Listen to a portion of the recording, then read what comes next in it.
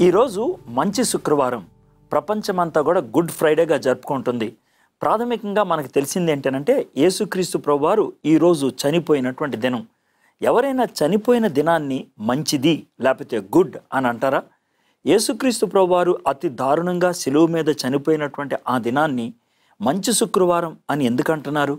ఆయన సిలువు మీద ఎందుకు చనిపోయాడు? ఆయన చనిపోవటం బట్టి దేవుడు అని మనం ఎలా అనగలుగుతాం? ఇలాంటి ప్రశ్నలు చాలామందికి ఉంటూ ఉంటాయి. అంతేకాదు ఆయన సిలువు మీద చనిపోవటం బట్టి నాకొచ్చేటువంటి లాభం ఏంటి? ఇది కూడా మీరు అంటూ ఉండొచ్చు. యేసుక్రీస్తు ప్రభువారిని అడిగినట్లయితే ఆయన ఏమంటారంటే నేను ఈ లోకంలోనికి ప్రాణం పెట్టడానికి వచ్చాను అని అన్నారు. ఈ లోకంలోకి మానవులు చేసినటువంటి పాపమునకు ప్రాయశ్చిత్తంగా చనిపోవడానికి వచ్చాను అని అన్నారు.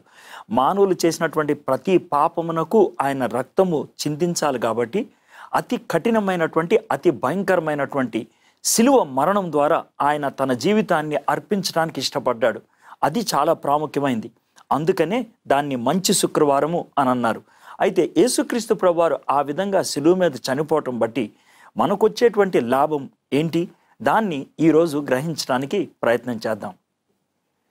శిలువ మరణం అనేది చాలా భయంకరంగా ఉంటుంది. ఆయన్ని ముప్పై తొమ్మిది సార్లు కొరడాతో కొట్టారు.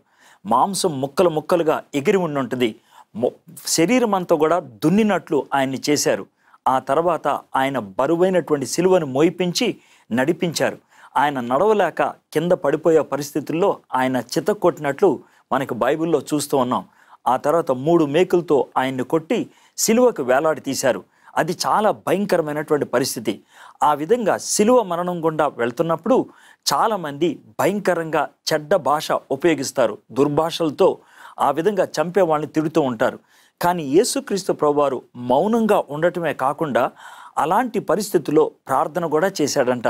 తండ్రి వీరేం చేయుచున్నారో వీరెరుగరు వీరిని క్షమించండి అని.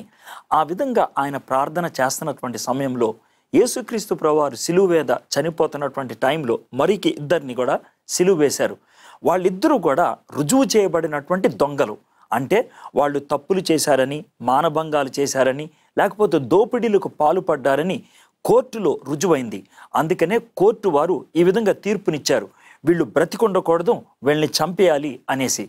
ఆ విధంగా వాళ్ళిద్దరు దొంగలు కూడా యేసు ప్రభుని దుర్భాషలాడారు. కానీ యేసుప్రభు వారు ఎప్పుడైతే ఇలాంటి ప్రార్థన చేస్తూ ఉన్నాడో అందుట్లో ఒక దొంగ యేసుప్రభు వైపు తిరిగి ఈ విధంగా ప్రార్థన చేశాడు. లేకపోతే బ్రతిమిలాడాడు.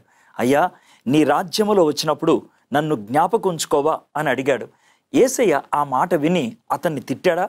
నువ్వు ఇష్టం వచ్చినట్లు జీవించావు నువ్వు చాలామందిని చంపేశావు చాలామందికి బాధ కలిగించావు. కాబట్టి ఈ చివరి క్షణంలో నా దగ్గరకు వస్తే నేను క్షమిస్తాననుకున్నావా? నేను నిన్ను పరలోకంలో తీసుకెళ్తాననుకున్నావా? అలాంటి మాటలు అన్నాడు ఆయన? అనలేదు. చాలా చక్కగా నేడు నువ్వు నాతో పరదేశిలో ఉంటావు అని అన్నాడు. యేసు ప్రభు ఆ విధంగా అంటున్నప్పుడు ప్రేమ మనకు కనబడుతున్నది ఒక వ్యక్తి ఇంత దౌర్భాగ్య జీవితాన్ని జీవించిన వ్యక్తి పరలోకములోకి వెళ వెళ్ళగలుగుతున్నాడు? అదే శిలువ మరణం ద్వారా మనం సంపాదించుకోగలిగింది. యేసుక్రీస్తు ప్రభువారు మన పాపాన్ని తన మీద వేసుకున్నాడు. మన దోషాన్ని తన మీద వేసుకున్నాడు.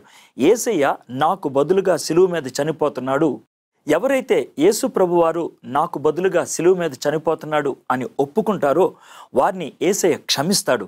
అంతేకాదు పరలోకంలో వాళ్ళకి స్థానాన్ని అనుగ్రహించడానికి ఇష్టపడుతున్నాడు. కాబట్టి ఈ మంచి శుక్రవారం మీ జీవితానికి మంచి రోజు ఎందుకు కాకూడదు? మీరు ఇప్పుడు దాకా ఎలాంటి జీవితం జీవించినప్పటికీ బహుశా మీరు కూనీలు చేసిన వ్యక్తులు అయి ఉండొచ్చు. దోపిడీలు చేసినటువంటి వ్యక్తులు అవి ఉండొచ్చు. చాలామందిని మోసం చేసినటువంటి వ్యక్తులు అయి ఉండొచ్చు. ఎటువంటి వ్యక్తినైనా ఏసయ్య క్షమించగలడు అని అనటానికి అద్భుతమైనటువంటి ఉదాహరణే ఆ శిలువు మీద చనిపోయినటువంటి వ్యక్తి. ఆయనను క్షమించాడు కాబట్టి నిన్ను కూడా క్షమించగలుగుతాడు. ఈరోజు ఏసయ్య నన్ను క్షమించవా?